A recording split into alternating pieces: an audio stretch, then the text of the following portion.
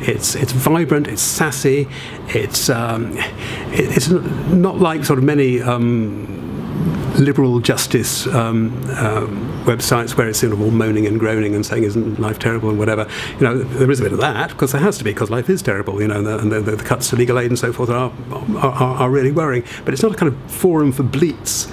It's it's it, it is actually it is taken by the scruff of the neck. Things like rough justice and trial and error were, meant to do, which is to focus people's attention um, on what's happening to our to our justice system, what's happening to ordinary people uh, in the system, because that's that is. I mean, I don't know how Jon Robins defines the gap um, in the in the justice gap, but to me, it's the gap between what the lawyers process and think is, you know, you know part, part of their business, and the gap between that and how it impacts on, on real people who are caught up in this huge um, forensic machine, uh, you know, in a foreign country, in a language they don't understand. You know, the amount of times you'll, you'll, you'll see, you know, ordinary people caught up in the law who, who have sat through their own trials and didn't have the faintest idea what, what was going on, and it's somehow to bridge that gap.